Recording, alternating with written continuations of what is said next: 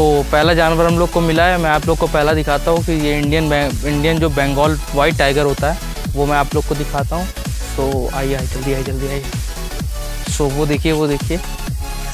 दिखा दिखा और ये वाइट टाइगर है। साला इधर नहीं आ रहा है।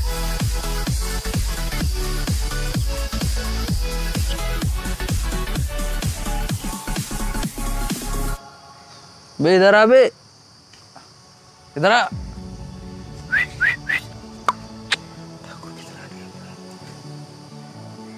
एकदम ठाकुर वाली स्टाइल पे टहल रहा है। और यहाँ पे लिखा हुआ है, वन्य जीवों को छेड़ना और खिलाना सख्त मना। है पकड़े जाने पर दो हज़ार रुपये जुर्माना है और छः महीने की कैद भी है। चलो आगे से नहीं छेड़ूँगा। इधर आ बे, इधर आ इधर आ, साले। ओ माय गॉड थोड़ी देर के लिए तो लगा केस के बाहर ही आ गया।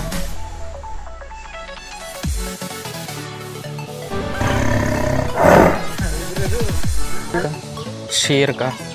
चलिए देखते हैं शेर क्या कर रहा है।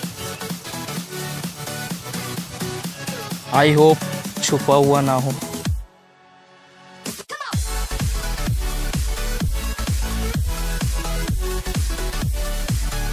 तो यार आप लोग जब कभी आप लोग का जू का प्लान बनता होगा तो आप लोग की पहली एस्पिरेशन जो होती होगी वो होती होगी कि आ, हम एक शेर को देखें। बट यहाँ पे खैर शेर तो मिला नहीं बट शेरनी चलो शेरनी से ही काम चला लेंगे। क्योंकि यार वो जो शेर में जंगल के शेर में बात होती है वो किसी और जानवर में नहीं होती है। पर चलो शेर नहीं तो चलो शेरनी ही सही। दोनों में अंतर ये होता है कि शेर के नेक पे राउंड बाल होते हैं बहुत सारे बट शेरनी का जो नेक होता है उसमें बाल नहीं होते हैं। बस ये बेसिक डिफरेंस है इससे आप पहचान सकते हैं। और ये एकदम देखिए, आपको ये सीन आपको लॉयन किंग मूवी की याद दिलाएगा, जो उसमें जो शेर का करेक्टर होता है, वो आपको एकदम लॉयन किंग मूवी का याद दिलाएगा।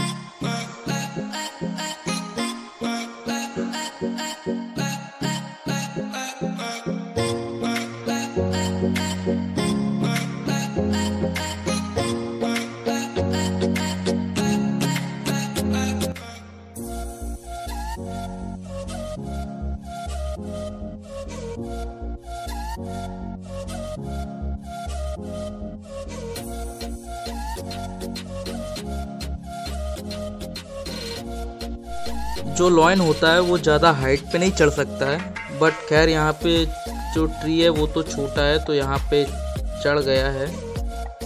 वो बचपन में हम लोगों ने एक कहानी भी सुनी होगी कि वो बिल्ली शेर को सारे हुनर सिखाती है बट पेड़ पे चढ़ना नहीं सिखाती है। यही है।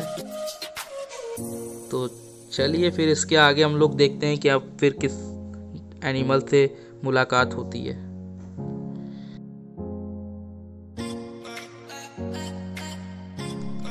और ये घड़ियाल आई थिंक ये पानी से रिवर्स पोजीशन में बाहर निकल रहा है। ओह look at this view don't miss it